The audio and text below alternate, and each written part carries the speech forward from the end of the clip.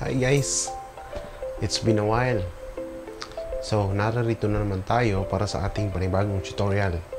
And alam ko na ang uh, tutorial na ito ay napapanahon dahil uh, nagsisimula na naman ang ating mga teachers na mag-print para sa nalalapit na pasukan. So, ang ating uh, tutorial ngayon ay kung paano mag-reset ng printers. And specifically, ang Epson L3110. So, samahan niyo po ako hanggang sa matapos ang ating tutorial. At yung download link po ay matatagpuan natin sa description ng video. At hindi lamang po Epson L3110 ang ilalagay natin na download link, pati na rin ang ibang mga Epson printers. So, check it and sana po ay makatulong sa inyo ang tutorial na ito. Maraming pong salamat. Tayo po ay magpatuloy.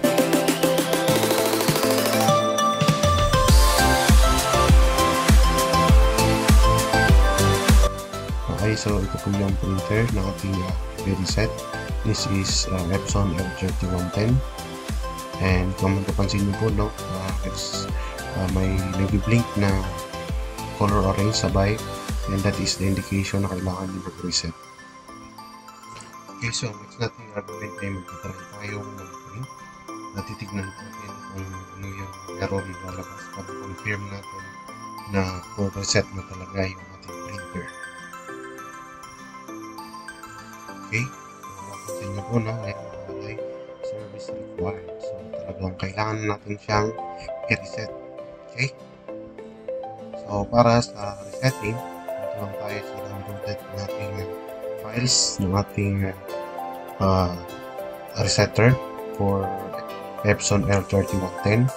Yung uh, uh, download link po ay nasa ating video description. Okay, so paki-download nyo lamang po at uh, pakisundan nyo na lamang yung ating uh, gagawin. Okay, open nyo. Open at dito tayo sa. Click yung badge program at uh, may error na lumabas dyan. Importante po na lumabas itong error na ito para makita natin yung ating uh, uh, hardware ID. So, iba-iba po yung hardware ID ng bawat printer. So, ito po yung paraan para malaman natin yung uh, uh, hardware ID is to try yung Edge Pro para mag uh, labas ay labas niya yung error at sa error na yon ay uh, doon natin makikita yung ating Epson uh, printer hardware ID. So, gagawin natin ay pupunta tayo sa uh, notepad or kahit sa Word para i-paste natin yung ating uh, hardware ID. Copyin lang natin yan. Kailangan kasi natin mamaya. Okay? So, after that, pupunta tayo sa keygen folder para sa ating uh, uh, key. So, click lang yan. And, gawa po tayo ng panibagong license. Kahit anong pangalan, pwede po ilagay dito. And, most importantly, yung hardware ID natin. Pupunin natin dun sa ilagay natin sa notepad or notepad. Okay, copy. And then paste lang po natin. And save. Okay. After that, pwede na po tayong uh, uh, i-click natin ito and lalabas na tayo. Puntahan natin yung uh, ginawa natin folder. And copy lahat ng files. After that babalik tayo sa folder ng Epson F10 and then paste lahat ng files. Ulitin natin yung Edge probe. And this time ay magiging successful na yan okay? So particular adjustment mode. Hanapin natin yung L31 okay and then pababa tayo punta lang tayo sa waste ink pad counter. Hit okay check natin tong dalawang to. And then uh, initialize. So yan po ang lalabas.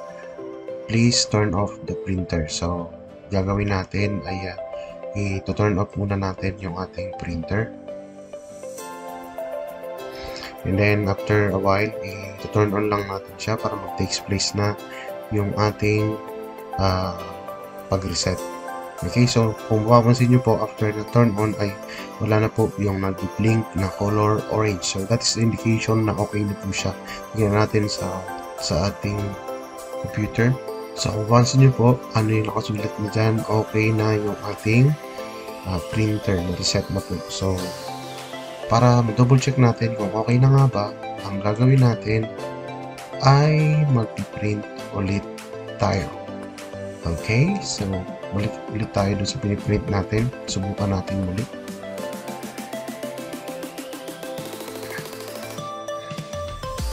Okay, so yun.